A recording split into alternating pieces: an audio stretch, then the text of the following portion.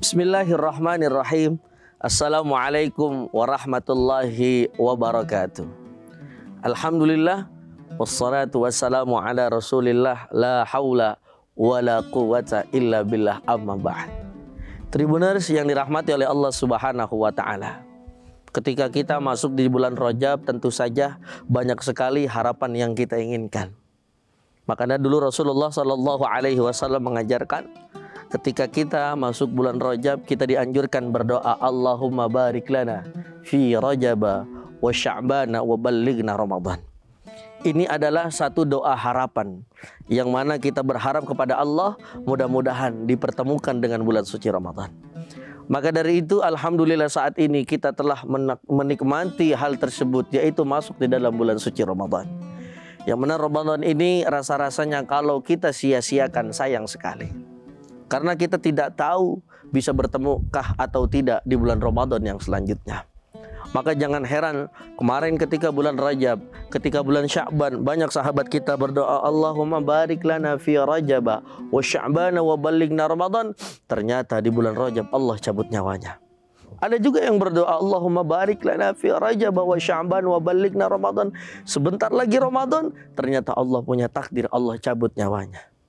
Maka kita termasuk yang Allah izinkan masuk di bulan suci Ramadan. Maka sayang rasa-rasanya kalau kita sia-siakan Ramadan ini.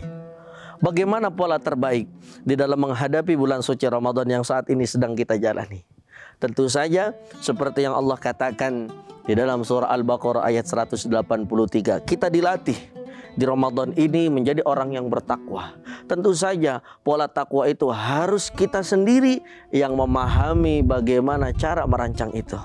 Contoh ketika Ramadan ini supaya sempurna. Pertama, jauhi segala sesuatu yang memang membuat kita lalai.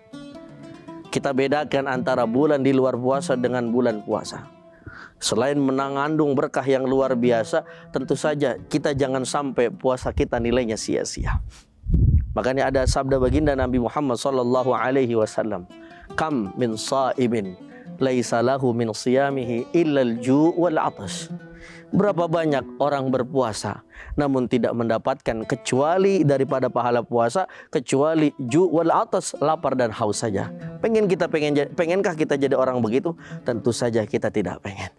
Maka dari itu pola yang paling bagus adalah ketika masuk bulan suci Ramadan benar-benar kita tak korup apa artinya takarub? Mendekatkan diri kepada Allah Subhanahu wa taala. Laksanakan amalan, laksanakan pekerjaan yang memang mengandung nilai-nilai ibadah dari Allah Subhanahu wa taala. Quran diperbanyak. Zikir diperbanyak. Bersedekah diperbanyak. Menjauhi daripada mohon maaf perkataan-perkataan buruk pun yang banyak. Jangan sampai bulan puasa dengan bulan yang lainnya sama nilainya.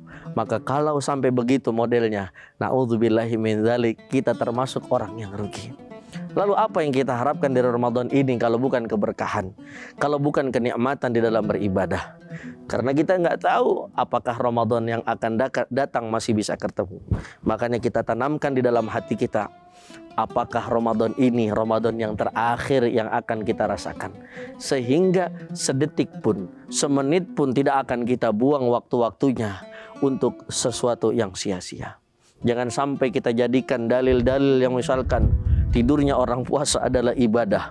Sehingga bangun subuh setelah sholat subuh kita tidur. Habis sholat zuhur bangun lagi terus kita tidur. Nanti habis asar bangun lagi kita tidur. Ternyata bangun-bangun udah azan maghrib. Ternyata satu hari isinya cuma tidur.